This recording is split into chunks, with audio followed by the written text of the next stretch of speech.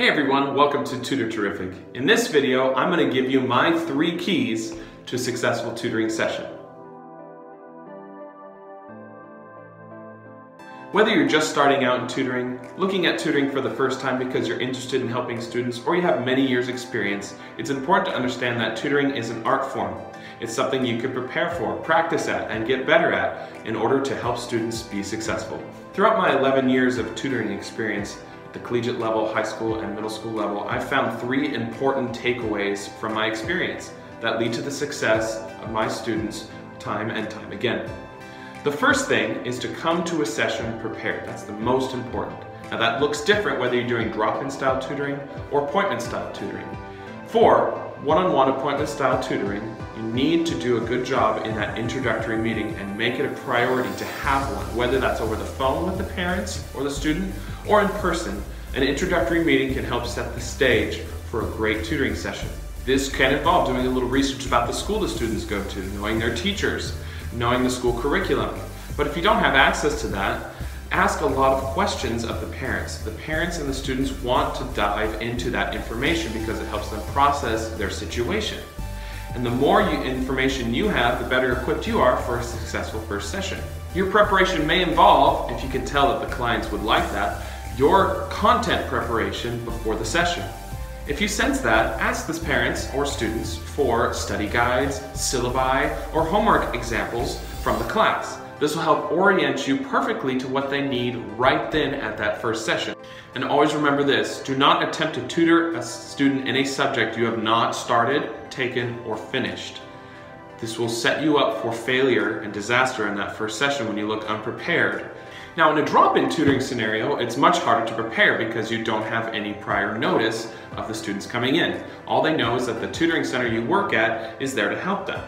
Now, what you need to do yourself to prepare for that is to make clear to the center which subjects you are prepared to tutor. Make sure these are classes or subjects you've already taken and excelled so that you yourself are equipped with that knowledge you need. In the drop-in tutoring scenario, there's less expectation, but they still want success. And again, do not tutor in subjects that you have never studied or finished. My second key to tutoring success is to make sure you act professionally in all interactions prior to the session. In that first introductory meeting or that first handshake, be comforting and confidence building. There are a lot of answers that these clients need or these potential clients need. and their initial inquiries, you need to be comforting and confidence building in your responses. You should also be upfront about your availability, your fees, your preferred locations for tutoring, and your preferred session times. You have this stuff organized, you look prepared to that first client or that new client that wants to work with you. Do not hesitate to refer to another tutor if you figure that you're unequipped to handle the requirements, such as not having taken the class or not being able to meet their requirements for time. And uh, maybe they can't afford your fees. You exude the confidence and the expertise in these situations when you have someone to refer to. So make sure you have that in your back pocket. Also, right before that first session, plan to arrive ahead of the appointment time at the location with all the materials you need. Make sure you know where to go and how to get there, and it's somewhere you're familiar with.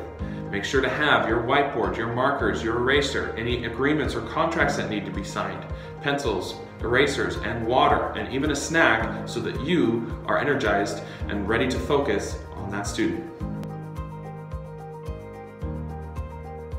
Now my third and final key in this video to a successful tutoring session may be the most important. While it's important to be prepared and professional before the session, what happens during the session makes the largest impact. You need to focus on the tutee, not yourself. The focus needs to be on the person you're helping so that they build confidence, not you. So be quick to listen and slow to speak. Now for extroverted tutees, this will be easy to do because they'll want to talk a lot more and be heard. But introverts might need a little more help. Some questions you might have for them might help get the conversation going. Do not direct attention to your own abilities, your experience, and your own accolades. This does not build confidence in the person you're helping if you try and set up this situation where you are much higher above them in your abilities. I challenge you to try to match the personality as best you can to the tutee.